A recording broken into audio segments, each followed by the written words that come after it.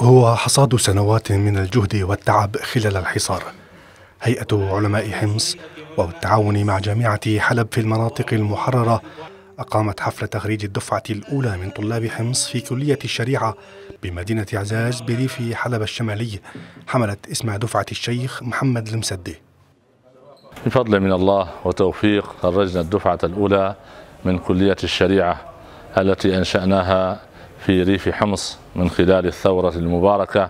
وقد درسنا طلابنا وطالباتنا تحت القصف وكذلك كان الموت دائما أمامنا. سبعة عشر طالبا وطالبة كرموا خلال الحفل. معظمهم عانوا مشقة الحصار في حمص قبل تهجيرهم إلى الشمال السوري.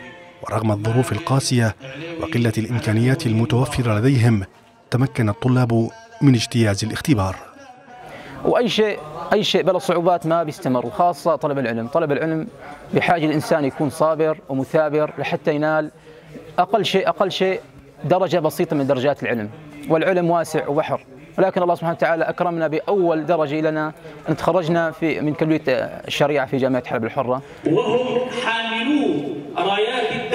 كنت أدرس الشريعة في ريف حمص الشمالي وكنا محاصرين. آه، ولاقينا العديد من الصعوبات في ريف حمص الشمالي.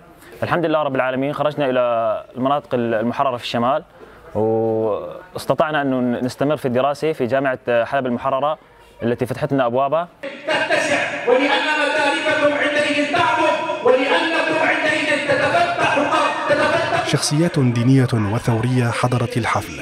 هنا تجنى ثمرة زرعت بذرتها في حمص ليسجل الطلاب أسماءهم كأول المتخرجين من جامعات الثورة السورية. ولا تطلب به